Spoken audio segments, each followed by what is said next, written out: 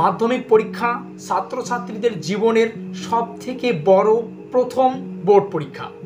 আর এই মাধ্যমিক পরীক্ষার প্রবেশদ্বার হিসেবে আমরা টেস্ট পরীক্ষাকে ধরতে পারি। বোর্ড এক্সামে ভালো ফল করার জন্য টেস্ট পরীক্ষার গুরুত্ব কিন্তু অপরিসীম।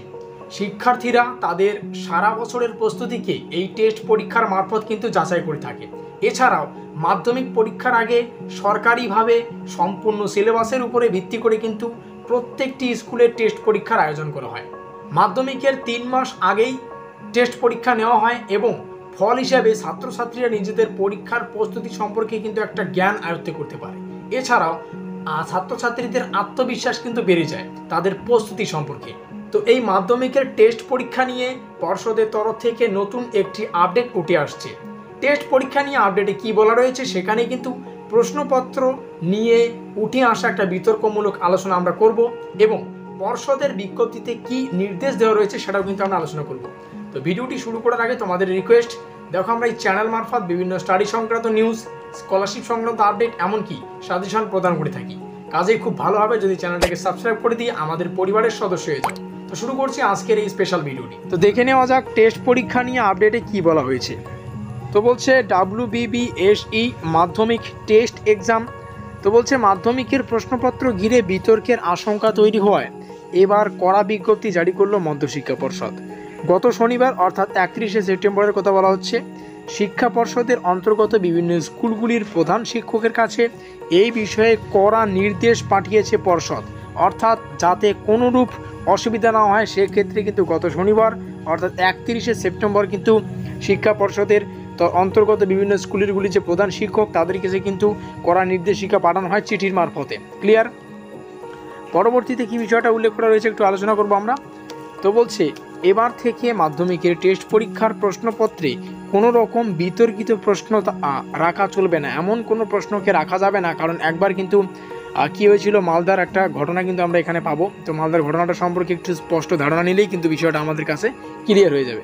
তো বলছে এবার থেকে মাধ্যমিকের টেস্ট পরীক্ষায় প্রশ্নপত্রে কোনো রকম বিতর্কিত প্রশ্ন রাখা চলবে না। কারণ কাশ্মীর সম্পর্কিত একটা বিতর্কিত প্রশ্ন আসে, সেক্ষেত্রে কিন্তু মাধ্যমিক শিক্ষা পর্ষদকে অনেকটাই কিন্তু নিচু করানো হয় আর কি। বিভিন্ন কিন্তু আপডেট উঠে আসে, বিভিন্ন কিন্তু সেরকম একটা মানে নেগেটিভ চিন্তাভাবনা বা নেগেটিভ থট কিন্তু উঠে আসে। তো বলছে সিদ্ধান্তকে পরিষ্কার পরিষ্কার ব্যক্ত করে বিভিন্ন স্কুলগুলির কাছে চিঠি পাঠিয়েছে মর্দ শিক্ষা পর্ষদ।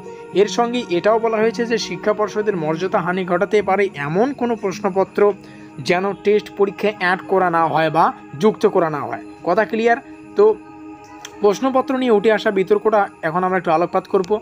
তো বলছে প্রশ্নপত্র নিয়ে উঠে আসা বিতর্ক। কি বলছে? জাস্ট ওয়েট তো বলছে প্রশ্নপত্রে যুক্ত হয়েছে বিতর্কিত প্রশ্ন। এই অভিযোগকে কেন্দ্র করে বিতর্ক শুরু হয়ে যায় পশ্চিমবঙ্গ মধ্যশিক্ষা দপ্তরে। একটি বিতর্কের ঘটনা ঘটে মালদহের একটি মিশনারি স্কুলের টেস্ট পরীক্ষার প্রশ্নপত্রে কাশ্মীর নিয়ে একটি প্রশ্নের উপস্থিতির জন্য বেশ বিতর্কের সম্মুখীন হতে হয়েছে মর্দ শিক্ষা পর্ষদকে অর্থাৎ তোমাদের একটু আগে বললাম যে কাশ্মীর সংক্রান্ত মালদহের একটি মিশনারি স্কুলে কিন্তু টেস্ট পরীক্ষার প্রশ্নপত্রে একটা প্রশ্ন ছাপানো হয়। সেক্ষেত্রে কিন্তু অনেকটাই বিতর্কের সম্মুখীন হতে হয় এই মধ্যশিক্ষা পর্ষদকে তার জন্যই স্কুলের প্রধান শিক্ষককে বা প্রত্যেকটা স্কুলকে কিন্তু পর্ষদের তরফ থেকে নোটিশ বা চিঠি বলতে পারো যে এরকম কোনো রকম যেন নেগেটিভ থট বা নেগেটিভ প্রশ্ন যেটা মানে মধ্যশিক্ষা পর্ষদকে মাথা ঝুঁকি করতে হয় এরকম কিনো- আহ, কোনো প্রশ্ন যাতে পরবর্তীতে আর অ্যাড করা না হয় বা যুক্ত করা না হয়। তো বলছে এবার আমরা আলোচনা করব কি নির্দেশ জারি হয়েছে বিজ্ঞপ্তির বা পর্ষদের বিজ্ঞপ্তিতে। সেটা নিয়ে একটু আলোচনা করা যাক।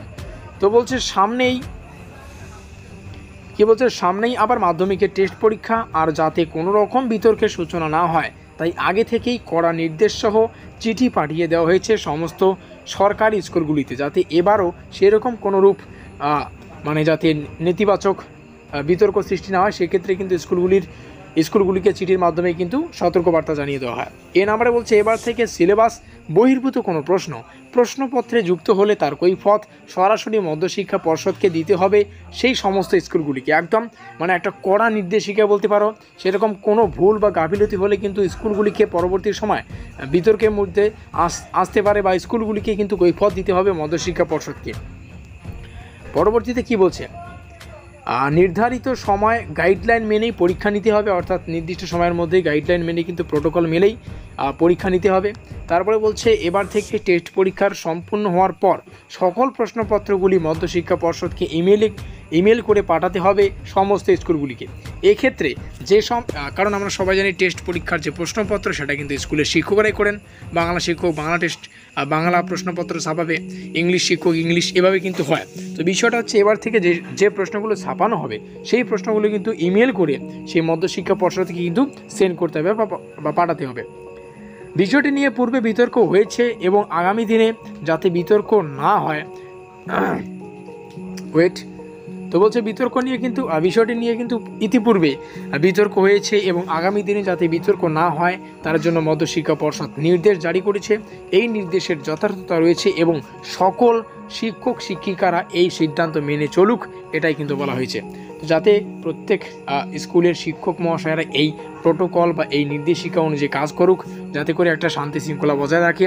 কারণ এরকম জিনিস উঠলে মধ্যশিক্ষা পর্ষদকে কিন্তু মানে বিভিন্ন বিতর্কের আন্ডারে কিন্তু বিভিন্ন বিতর্কের মধ্যে পড়তে হয়।